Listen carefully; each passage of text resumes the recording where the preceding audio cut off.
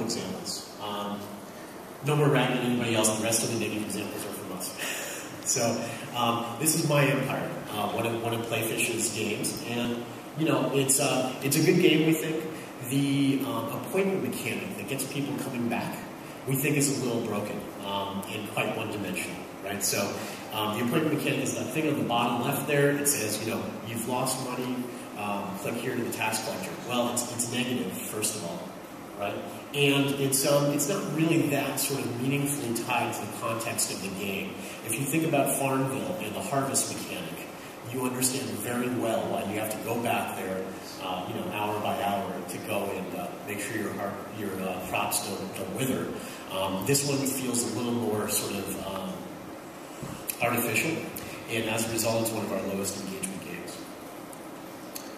Um, by contrast, FIFA, um, FIFA is one of our highest monetization games. Um, sorry, highest uh, um, engagement games. And uh, how do we do it? Well, we use cohort analysis to really pinpoint where we need to focus, where we to focus. And it became very clear to us very quickly that newbies were doing fine, but our experienced users um, kind of weren't, weren't coming back as frequently. So we really need to focus on that elder game.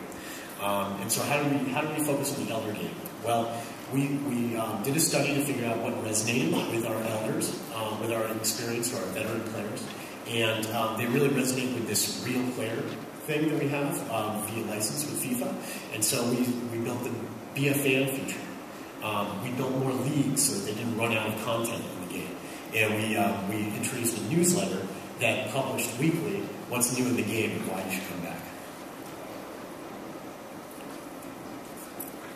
So finally we get to monetization, right?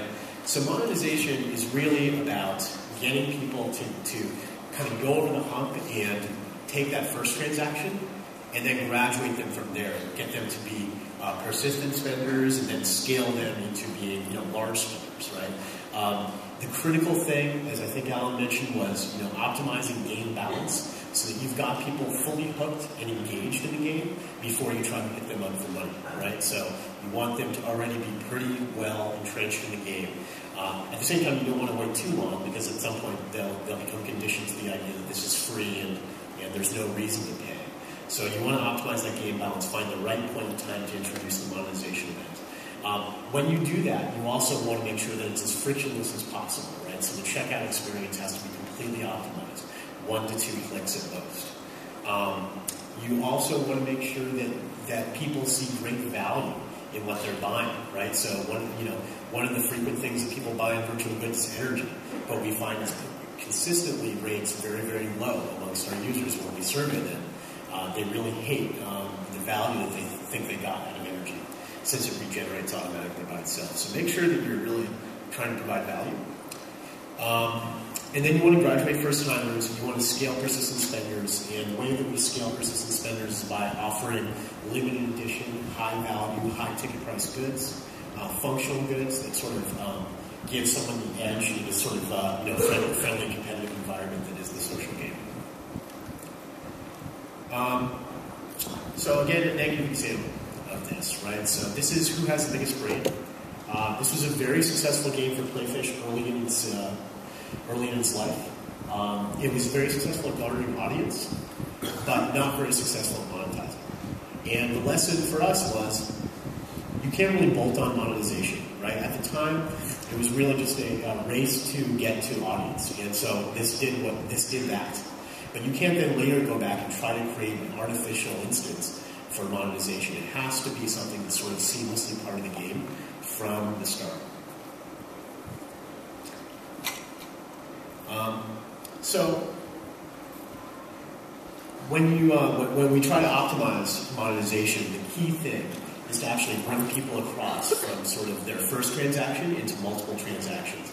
And uh, there's a huge problem between the first and the second, right? So, um, you know, when you start thinking about how are you going to actually get people across into that second, third, fourth transaction until they're actually sort of becoming persistent spenders and coming back of their own volition, um, the, the, key thing is not to leave money on the table. It's really, really easy to uh, to create a blanket uh, incentive, a blanket sale that makes people want to come back and do transactions. But you're leaving money on the table if you just give that to everyone. Instead, you want to look at a per game, per segment basis to figure out, okay, what's the optimal point at which we can uh, incent people to become habituated spenders without uh, giving money away and cannibalizing the revenue